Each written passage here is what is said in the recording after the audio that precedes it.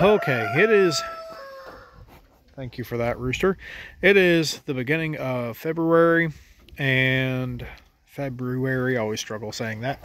And we're going to do a quick update on whether or not rabbits are worth it so far. We are coming out of snow and sleet and a bunch of other stuff, nasty weather.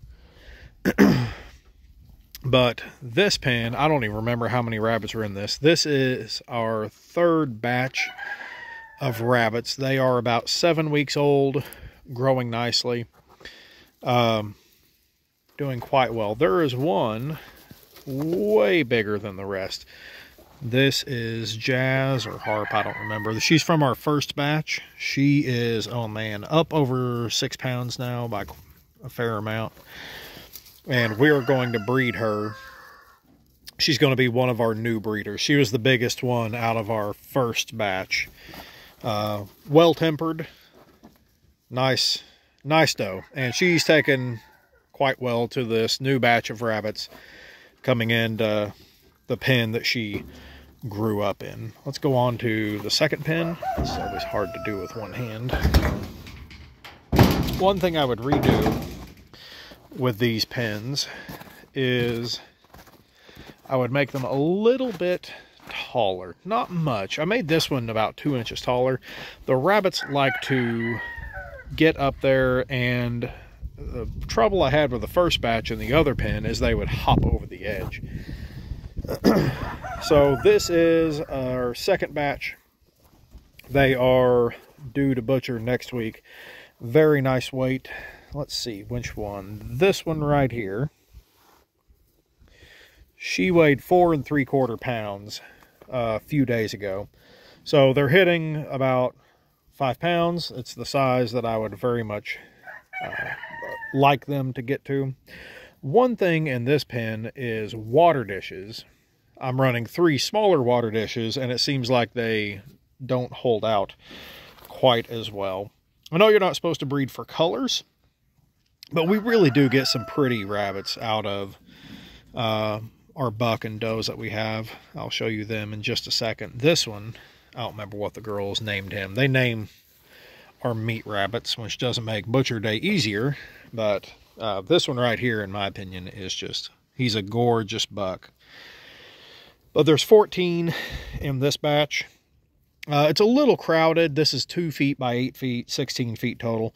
It's a little crowded for them, but since they are uh, they've grown up together, they don't mind it quite as bad. I normally don't leave hay in the bottom like this, but whenever it gets down to really low temperatures, I don't mind it. And I let it build up, and then later today it's warming up. I'll pull all that out of there so the hay can fall through. and we we get a lot of manure out of these grow out pens. Not nearly as much in the colony. We'll look at that in a second. But um, a lot of this hay that I'm feeding yeah, it's used for mulch around bushes, trees, and, and garden rows. And I let the manure build up a little bit whenever it snowed and sleeted and was nasty. And there's two five gallon buckets and there's at least another, probably half a five gallon bucket underneath the pens. And so I am putting that on everything right now. I'm putting it on bushes. Oops, it's really hard to do this one-handed. Uh, trees, and then our garden rows to fertilize our garden rows. and I've done a tour of the colony before. What is slightly different right now is our buck is in a cage kind of a mean looking face he's a doing there, uh, chewing on that hay. I pulled him from the colony, segregated him out, so he could uh, give the does a break. Now, since they're in the colony, they really don't mind getting bred back very quickly. Ooh, come back. And we have, I pulled him a few days too late. And so we had one more batch of bunnies. I haven't counted lately, but I think there's 10. I don't know that I ever counted. Elizabeth counted. I think there was 10, And back, if I can get my finger up here, back up there, there is a tunnel they've put in behind those stakes in the hay. There's some more hiding over there. There's some down here by their mom. And you can see they're starting to live in the feeder, which means they are getting close to getting ready to come out of there. Meaning all of these rabbits at uh, four weeks old, just over four weeks old, because the mamas have been, the does have been making a new litter every month. But I'm going to give these another half week to a week. And that's not, that's not super easy on the rabbits. On the does, uh, it's kind of hard on them, but uh, they really don't seem to mind it. They have been trying to get to the buck to get bred since he's right there. They really enjoy being close to him and hanging out uh, as near him as they can can get. And man, they they want to get to him and get bred. They they are asking for it. So they uh, seem to prefer that, and I'm letting them pace themselves. So we have, let's see, this will be the fifth litter of rabbits that will get butchered. They'll get butchered in another two months or so.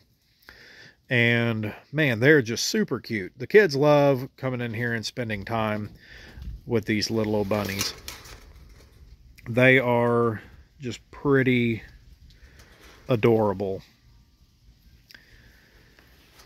So is it worth it? We are going through feed just pretty quick, but we are also producing rabbits just pretty quick. Um, the first batch that we butchered I think I was estimating it with a really good, uh, a really good reason to estimate it that way, around 55 pounds. Uh, saved out that one, the, the gray one I showed you earlier. So we butchered 14, there was 15 in those two litters.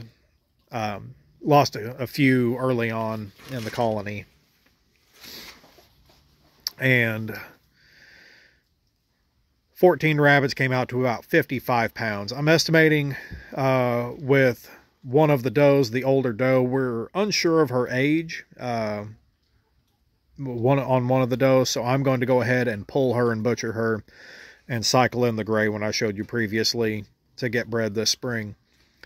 Uh, with her in the mix, I think we're going to average somewhere between 65 and 70 pounds uh, for this litter. Not average, uh, estimate. 65 to 70 pounds for this, this batch.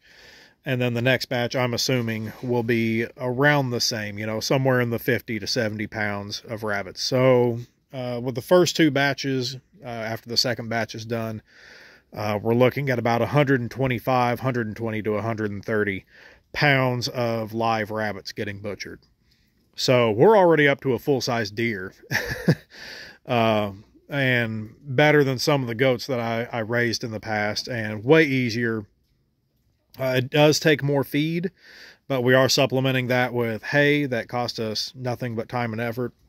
And so we, between the kids really enjoying playing with the rabbits and having a good time taking care of them and, and giving them some productive chores to do, and getting the meat out of it and a boatload of fertilizer for everything we're growing around here.